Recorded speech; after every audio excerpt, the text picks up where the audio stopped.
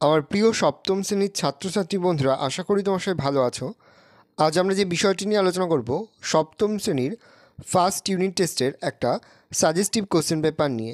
Full marks তোমাদের রয়েছে পনেরো, আর সময় তোমাদের রয়েছে তিরিশ মিনিট।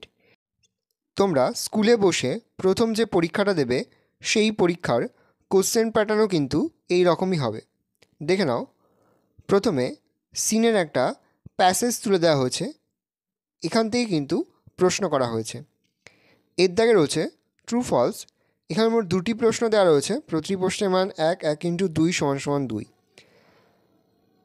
তারপর রয়েছে বিয়ের দাগে answer the following questions in complete sentence এখানে মোট দুটি প্রশ্ন দেওয়া রয়েছে, প্রতি প্রশ্নের মান দুই করে, দুই গুণ দুই সমান সমান চার।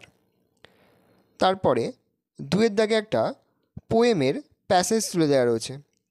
এখান থেকে কিন্তু প্রশ্ন করা হয়েছে।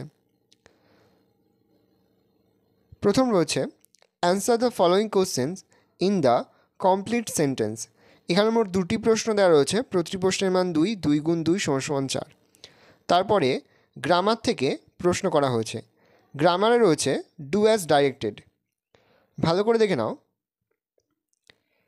বিভিন্ন স্কুলে বিভিন্ন ধরনের কোশ্চেন হবে, কিন্তু এই ধরনের কোশ্চেন প্যাটার্নেই কিন্তু প্রশ্নগুলো করা হবে।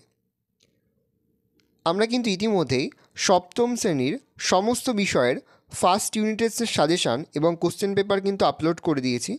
তোমরা যদি এখনও সেই ভিডিওগুলো না দেখে থাকো, ভিডিওগুলো কিন্তু তাড়াতাড়ি দেখে নাও। আর এই ভিডিও তোমার বন্ধুবান্ধবের মধ্যেও অনেক অনেক শেয়ার করে দাও। আশা করি ভিডিওটা ভালো লেগেছে।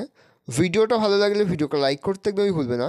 আর আমার চ্যানেলে তোমরা নতুন হও তো লাল কালার যে সাবস্ক্রাইবার প্রেস করে পাশে বেল আইকন সে প্রেস থাকবে যখন আমি নতুন কোনো ভিডিও আপলোড করি, সবার ফার্স্ট নোটিফিকেশন তোমরা পেয়ে যাও।